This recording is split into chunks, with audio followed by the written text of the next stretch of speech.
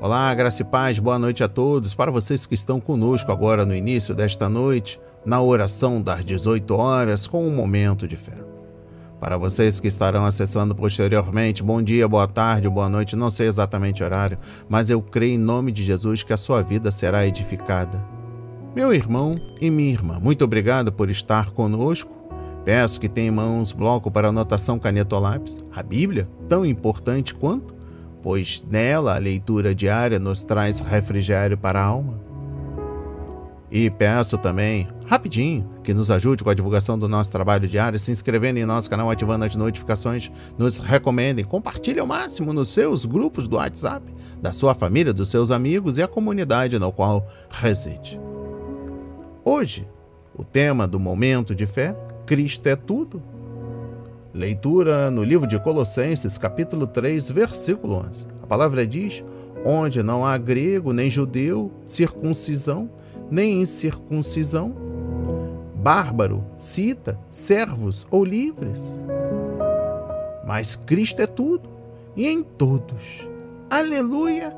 E glórias a Deus, glórias a Deus, glórias a Deus. Cristo é tudo para nós principalmente devido ao dom da salvação. Inicio a mensagem no dia de hoje. Jesus Cristo nasceu no seio de uma família simples, humilde. Seu primeiro quarto foi uma estrebaria e seu berço uma manjedoura. Ainda assim, ele foi capaz de fundar uma religião baseada em seu caráter que perdura até os dias atuais. Nesta religião, no cristianismo, podemos saber: Cristo é tudo. Cristo deve ser o seu único mestre. Enquanto muitos colocam a sua fé em teorias e em pastores ou sacerdotes, a sua crença deve estar ligada às palavras de Jesus. Tudo o que ele disse é lei para nós, cristãos. Não devemos nos submeter a livros, a credos ou a líderes não importa o quanto você gosta ou admira o seu pastor, o seu único guia deve ser Cristo. Forte, não é verdade? Mas continuando, além disso, Cristo deve ser seu principal objetivo de vida. Temos várias prioridades: família, trabalho, igreja, mas não podemos nos esquecer de que precisamos viver para Ele. Nossa meta e alvo deve ser a glória dele. Que o vejam em nós o tempo todo. Muitos de nós acabamos nos perdendo nisso, e Cristo deixa de ser tudo para nós.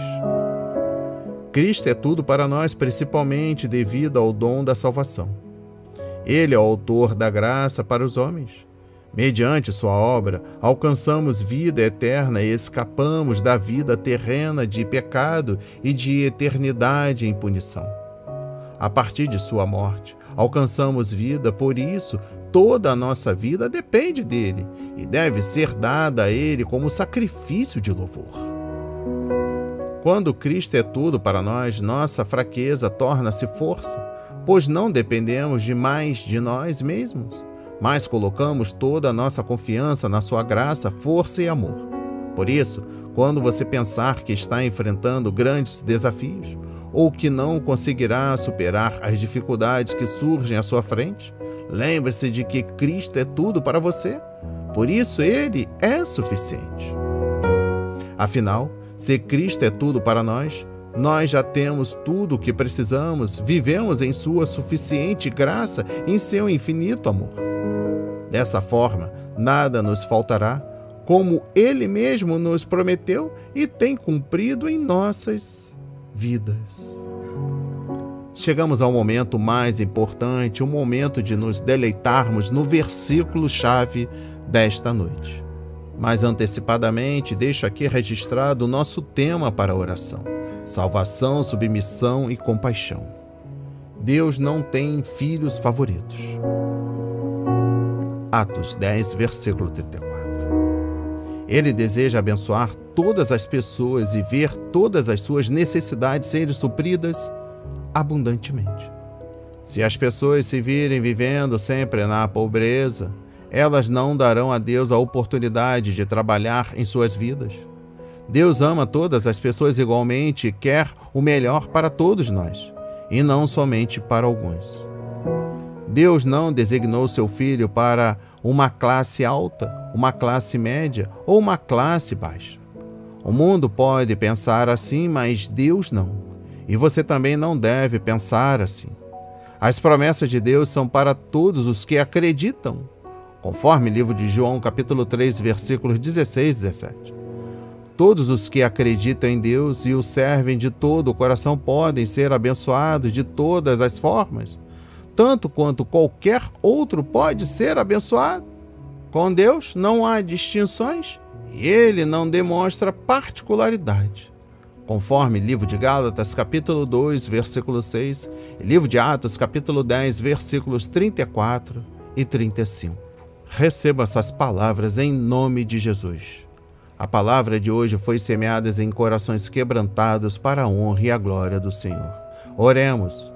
Pai amado, bendito Senhor, meu Deus e meu Pai Jesus Cristo. Senhor, não quero ser tomado pelo orgulho e também não quero ser uma pessoa de baixa autoestima. Pai, quero apenas ver-me como tu me vês. Peço no dia de hoje que perdoe meus pecados para que tenhamos acesso à eternidade. Queremos estar seguindo os seus mandamentos, seus decretos.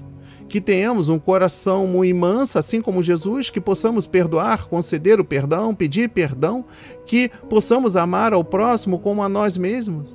Pedimos que no dia de hoje, Pai, que a nossa vida não seja diferente, que seja igual a mais próxima, parecida de Jesus, que tenhamos um coração bondoso, que não haja orgulho, nem alto, nem baixa autoestima, Pai.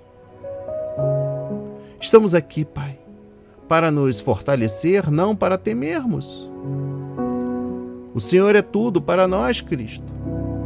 O Senhor é a nossa verdade, a nossa luz. O Senhor é o nosso maná.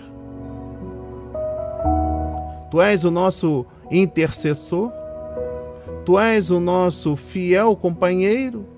O Senhor nos, nos, protege nos momentos mais difíceis da vida, nos momentos mais dolorosos. O Senhor está conosco, nunca nos, nos, nunca nos desamparou, Pai.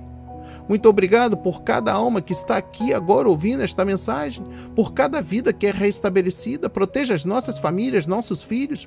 Cuide daqueles que estão enfermos. Cuide daqueles que estão passando pelos momentos difíceis da vida. Proteja mais uma vez as nossas famílias e assim oramos. E enaltecemos para todos sempre. Amém. É graças a Deus, graças a Deus. Não hesite em compartilhar esta mensagem, deixe seu like, seu comentário, se inscreva em nosso canal, ative as notificações, nos recomendem e até o próximo encontro às 18 horas.